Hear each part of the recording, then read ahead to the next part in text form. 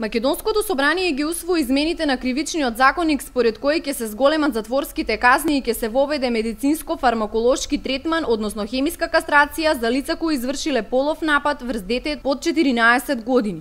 Од минимални 8 години на 12 години затворска казна за извршителите на облюба или друго полово дејство врз малолетно лице под 14 години. Доколку при кривичното дело детето се здобило со тешки телесни повреди или пак настапила смрт, казната од 10 години до доживотен затвор се зголемува на 15 години до доживотен затвор. Педофилите кои ќе се согласат на хемиска кастрација ќе добијат и помала затворска казна и тоа 40 години ако бил осуден на доживотно, 20 години ако бил осуден на 40 и минимална затворска казна ако бил осуден на 20 години затвор.